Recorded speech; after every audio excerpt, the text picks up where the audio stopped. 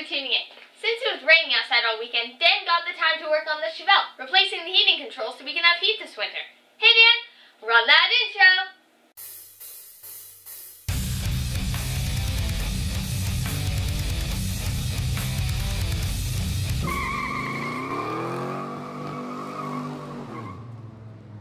Hey Gearheads, thanks for tuning in. I did have plans to clean out the trunk of the Camaro today and also keep working on the trailer, but it's raining. So that gives us an opportunity to get back on the Chevelle and do something I've been meaning to do for a while.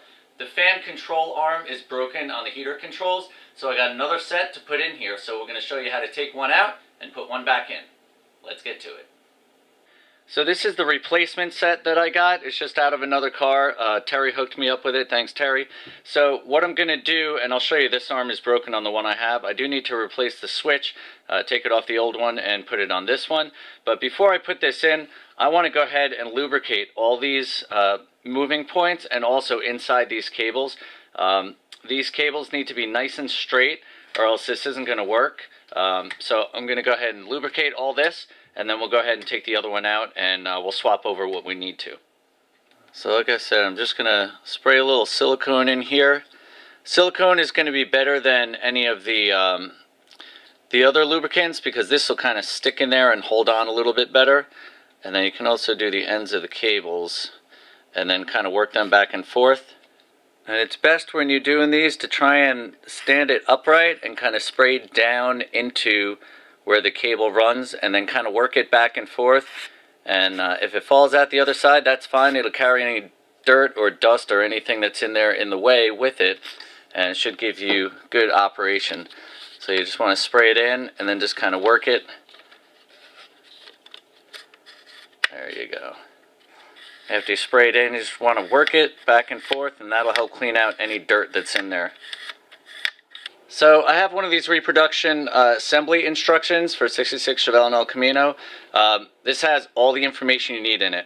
This first page shows you how all the cables go in, the fasteners you need to put them in, and how the switch and everything gets mounted. And then the next page shows you the routing of the cables, how they need to swirl around, and how they get attached to the uh, other ends. So you have the one here, one here, and one here. And you do need to make sure that they're all going the right direction. You can see where this one goes over that one and under that one. This routing is all very important because you do have that cable inside here, the solid cable that has to go back and forth. That's why these levers get broken because a lot of people probably route it the wrong way or don't give it the right uh, circle around here.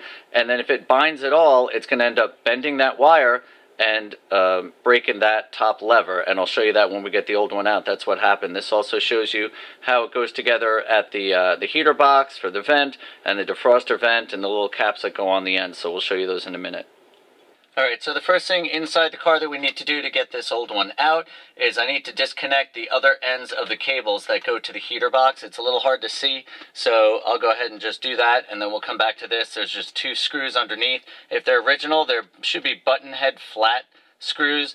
Um, I have a bolt here because this one got a little messed up, but we'll go ahead and get this unit removed. We'll take the three cables off the other ends, and then we'll take these out, and I'll show you how to pull this unit out. So this is the one that's above the gas pedal. You can see it's a quarter inch bolt in here. And then the other end where the um, wire goes on, it should have a little press-on cap. This one doesn't even have it, so I'm definitely going to replace those when uh, I put it back together.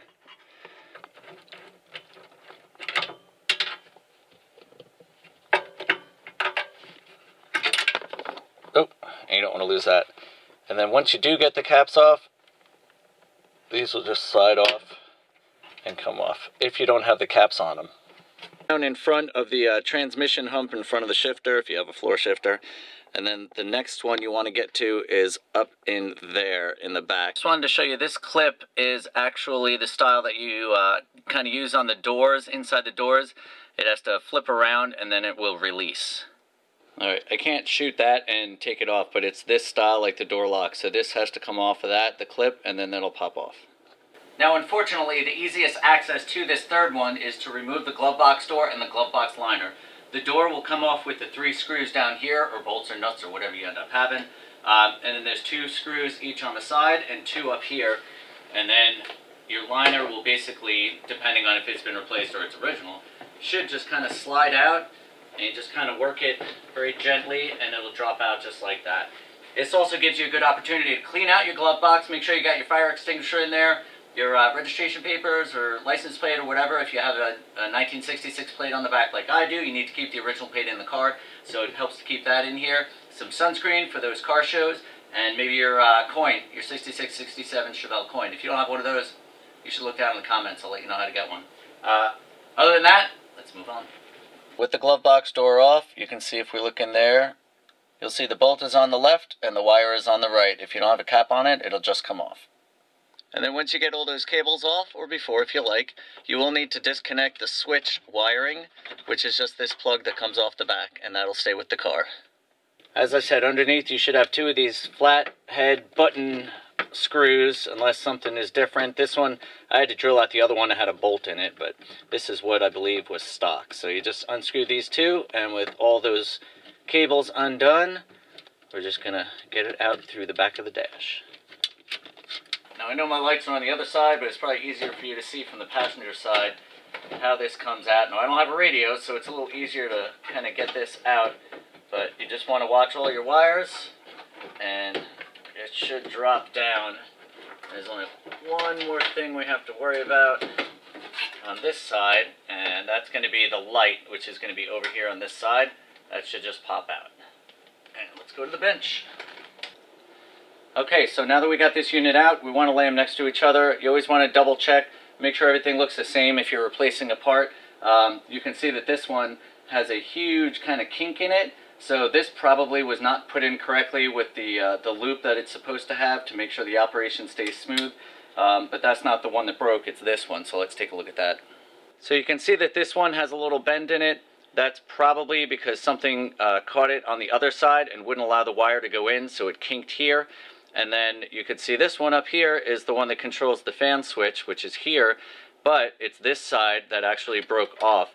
And again, these are cast from the factory, and a lot of these have a tendency to break if they have any bit of resistance. You can see this one's got a little kink in it as well, so that's definitely uh, not good. These probably were not lubricated, so who knows what's going on with this. But we're going to go ahead and pull this switch off, and then we're just going to go ahead and swap this unit out for that unit. But I want to show you one more thing. We need to remove this switch and transfer it over. So we can see under here, it does have this uh, little tab, so we're going to have to pull that locking tab off. And then we have the two bolts down here, so we'll take those off. And do this just by wiggling that back and forth. Same as you did to get the caps off of the wires on the ends.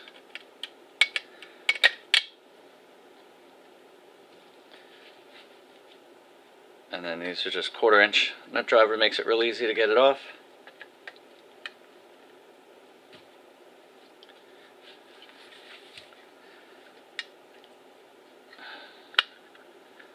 I just gotta wiggle this on out. Now I'm definitely going to clean this sucker up. Um, you may want to test it, make sure it's moving, make sure you uh, you pin out to make sure that the switch is operational. I know this works, so I'm just going to go ahead and clean it up, and then we'll go ahead and install it on the uh, replacement unit. And we'll go ahead and install the switch in the other unit. Of course, if it has a switch and you're going to use it, then you can skip this step.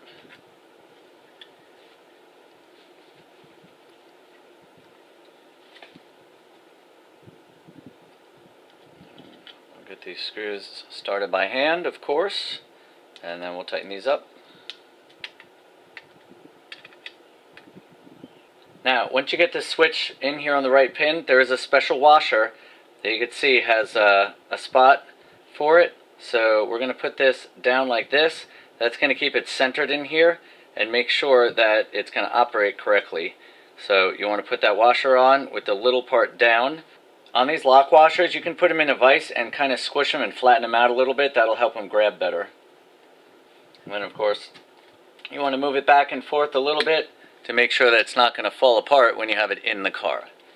But that's the way it should fit, so it's nice and tight. You might want to just clean this up, make sure it's nice and uh, free for it to move. Maybe even grease it a little bit. The next thing we want to do, because this is a unit we have not used before, is we want to go ahead and make sure the threads are going to be good. And if they're not, we want to go ahead and chase them. So if this goes in okay, then we know we're going to be fine. Usually you could just chase them with the correct size, make sure you have the correct size. And if it goes in okay, then you're in good shape. If you get stuck at all or it seems tight, definitely don't force it. You don't want to break the screw in there, especially if it's original threads. Just chase it with a tap. Since my unit was metal and metal and the new one is plastic and plastic, I'm going to pry these off. Actually, no, I'm going to pry these off first. If I can get these off and they don't break, and I can get this off, there's just little clips to hold it on, then I'll transfer it over to that one, because um, this actually replaced, so this is a lot newer than that one. So um, this is supposed to be chrome on the outside, which it was, but it's kind of faded, but I still like the way it looks better than that one. So let's see if we can get this off and reuse them. Now to get these off, we're going to protect the bezel. We're going to use a heat gun. If you don't have a heat gun, you can use a hair dryer. And we're going to just heat this up a little bit to try and release the glue. Be aware that this is plastic behind it, so you don't, definitely don't want to uh, put too much heat on that. And then once it's heated up just a little bit, we're going to try to use a screwdriver and just put gentle pressure to kind of pull it off. You can also put vice grips or uh, pliers on here to pull it off. Just be careful not to mar them. And especially if yours are plastic and you're taking them off, you want to take extra steps to make sure you're not damaging them. Maybe put some tape around it or put tape around your uh, pliers, whatever you're using. The pliers I'm going to use are these uh, Sears Robo Grips. They're from Craftsman, and they actually came with these little rubber tips that you can put on there. So that way you can grab something, you're not going to mar it up, and uh, it also gives you a, bit, a, little bit better grip on it with the plastic being on there, so you can uh, tug on it. So good idea to use something like that if you can. All right, let's heat this up just a little bit. Again, you want to make sure you're nowhere near this black. You want to keep checking to make sure that you're not messing up anything around here. So we'll just do a little bit like that, not going crazy. We'll go ahead and grab this. Kind of pry again, so you can try wiggling it back and forth also. See if that'll work. They do make these, so if you break them, you shouldn't be in bad shape. Of course, your lever's going to move too, but wiggle it just a little bit. Looks like it is coming off. Maybe prying was helping.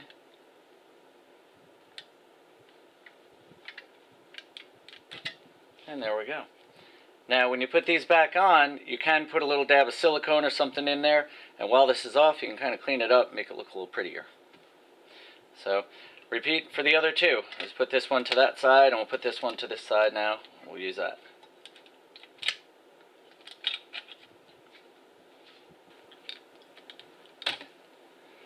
Once you're comfortable, it'll come off a little bit quicker, so that's nice. Just wiggle it back and forth. And look at that. Nice and easy. So now there's just this one clip on the top. You got two clips over here on the bottom. So once we take those off, this whole bezel face will come off and the plastic behind it. This one actually replaced, but it's looking a little cracked up and it really didn't fit well here. Anyway, you can see how it's kind of bowed out from the front. But it does have nice white lettering and if it comes off in one piece, we're just going to reuse it. And I'm not going to do anything with this right now either. These clips, you can just pry them up on the back and they should just pop out. Now keep in mind, um, it is a, it does have a little, it does have a double bend here on the back and a single bend on the front, so you want to make sure you keep this in the front. So we're going to put that just like that so we remember. I have extra ones from the other side, so we'll flip that over and we'll pop these off.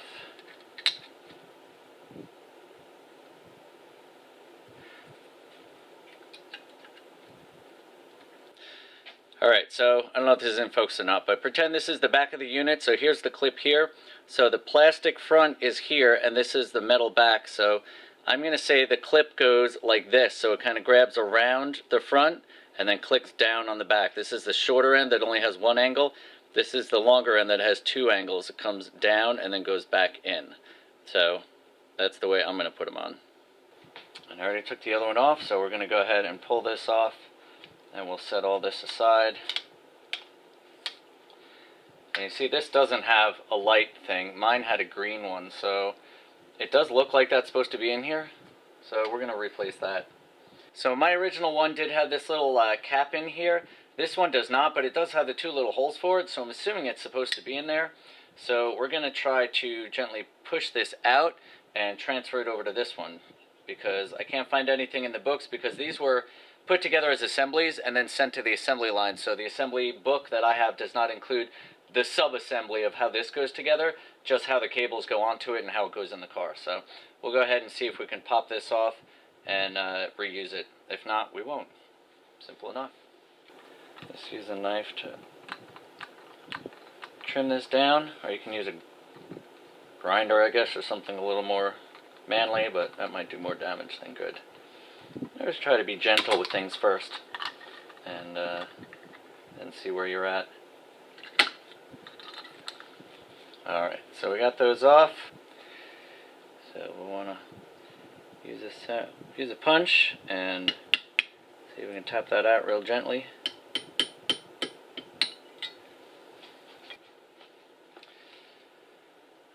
Alright, so we were able to get it out and we still have the pins so we can go ahead and uh, clean this up. We'll put it on that one.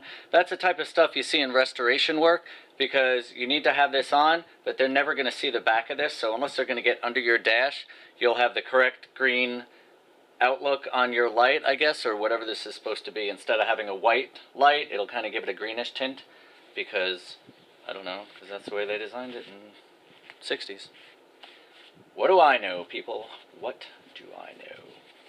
So I'm just going to gently file around the outside of this, make sure there's not a lip on there because if they heated this when they put it in, I'd probably mushroom the whole thing. We want it to fit in there nice and snug. Like I said, we'll put a little dab of glue on there, maybe some crazy glue, because it is metal to plastic. You can use any kind of glue adhesive. You could probably use RTV on there to be fine, but who knows.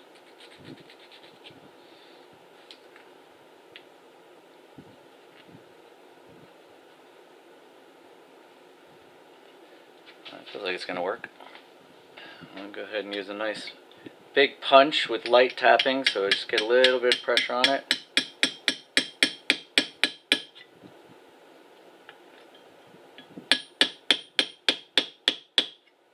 And then we'll just go ahead and put a little dab of glue on these two spots to hold it on and make sure it's not going anywhere. This one actually came through, that one didn't, but that's alright.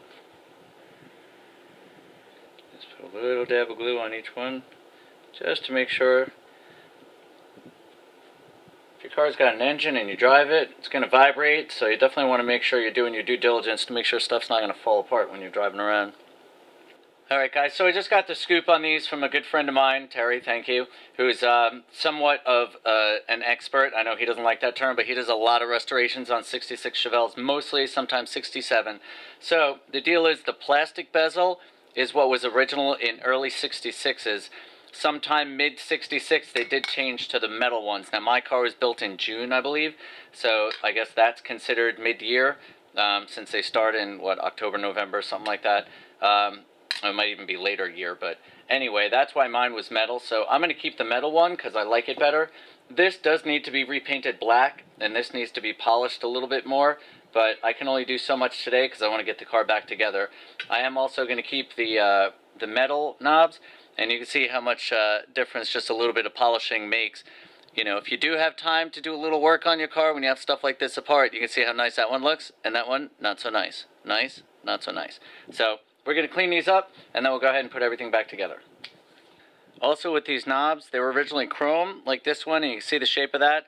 And then they changed to black at some point, probably also right before 67. But if you turn them sideways, you can also see these are flat and these are angled. So if you do have these, make sure you're putting them on the right way. If you do have these, clean them up. Look how nice that looks. Ooh. All right, now that we have this glued on, we're going to go ahead and put everything back together. Um, I cleaned this up. You can do very light silver paint on the bezel of this. That would make it look better, but again, as I said before, or maybe I didn't, I want to get this job done today because this is the only day I have to work on the car. So I'm trying to do everything in one day. Now remember, all these are angled, so you definitely want to make sure that you get all these on and seated correctly in their positions so you can get it locked together. So we get this, has to go over this, I believe. So let's, I have to put it on kind of this way first. There it is. So see how that's sitting flush there And uh, set with the back. And again, we're going to put these clips on with the dual angles towards the front because it kind of wraps around these front tabs. And then you, you just push it down like that.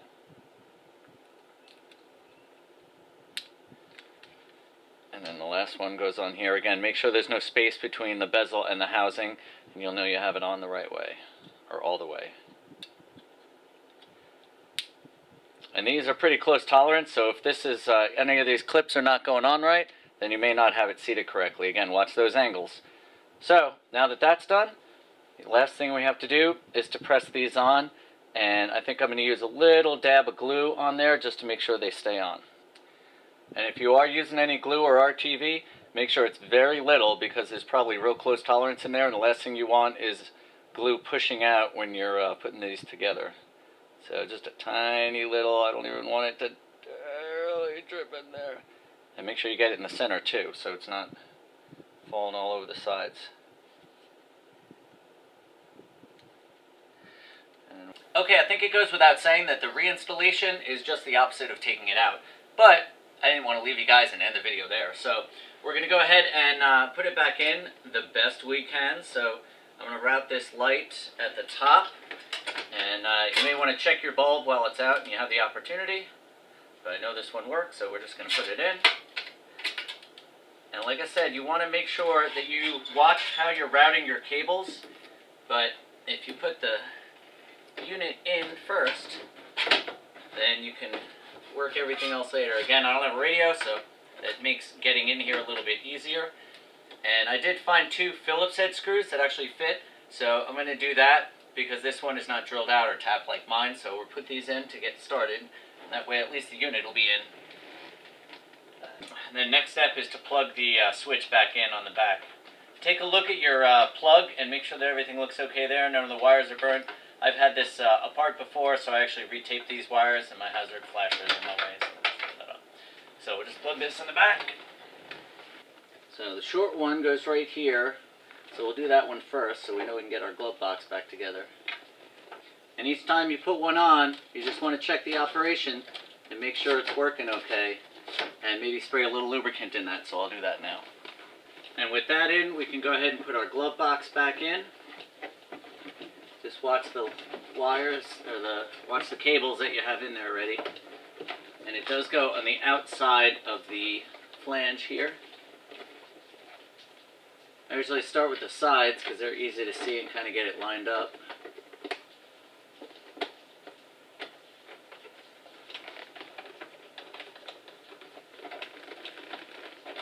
Now obviously these are going in cardboard so just be gentle with them. We don't have to over tighten them.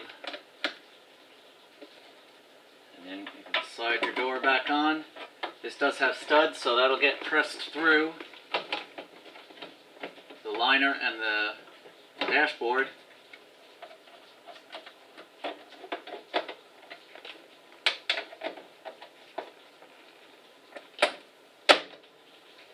Now you may have a little bit of adjustment on your glove box door, so make sure that it's uh, fitting the right way and it has good operation.